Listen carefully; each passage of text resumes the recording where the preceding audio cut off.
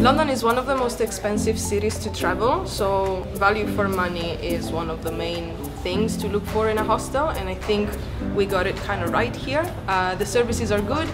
We have Wi-Fi throughout the entire building. We offer late checkout for an extra five pounds, and that allows you to stay until 1 p.m. And that comes in handy after a good night out in the city. I've actually had so many friends and family coming to visit me because I really like the layout of the rooms and I'm actually proud to show them when they're here. They're usually really spacious, they're colorful, some actually have double beds. Every room has an ensuite as well. The cleanliness is outstanding. We've won a few awards about that as well. I think the locker is one of the best features we have because it's very safe, very easy and it's personal. It works with the key card.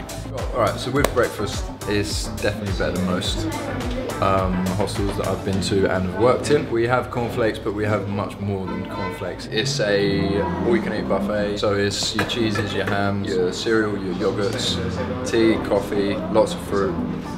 So in terms of a health kick, it's a good start to your morning, especially as if you're going to go out and tour London. So what I fancy about the bar is that it's a really old building, so it has a really cool vibe to it.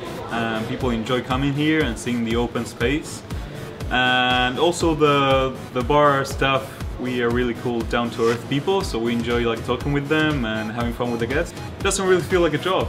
The atmosphere at Wombat London at the bar is amazing.